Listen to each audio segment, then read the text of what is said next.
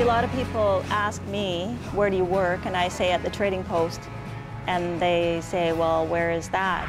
And I say, it's the place with the horse outside.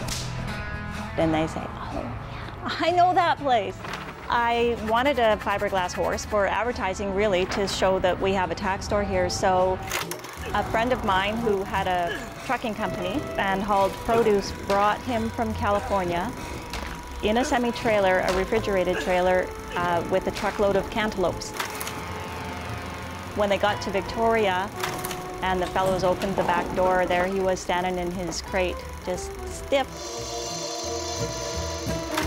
And that's how Cantelope got his name.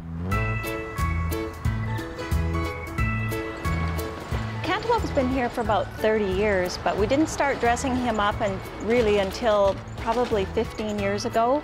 I went to a trade show and uh, there was a speaker talking about being an interesting destination for people to come to or an interesting landmark. So I thought, what could I do to be that?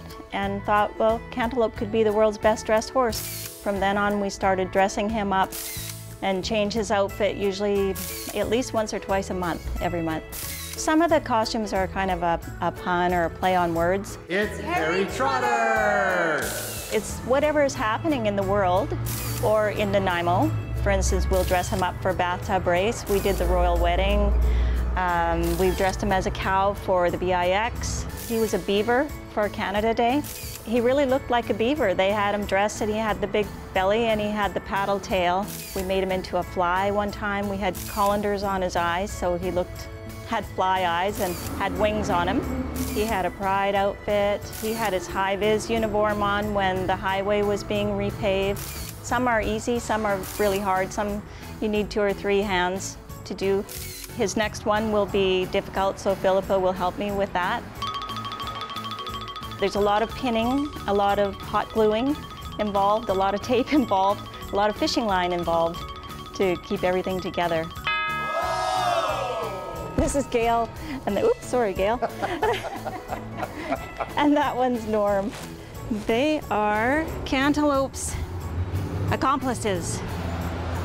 He's definitely a member of the staff. When he's not out there, people come and ask. Just the general public, they pull in and say, where, where is he? Where's the horse? Is he okay? If we have time, we'll run out and take their picture with Cantelope but there's a lot of selfies. Three, two, one, cantaloupe. You're asking if all the attention he's getting is going to his head? No, he's pretty humble.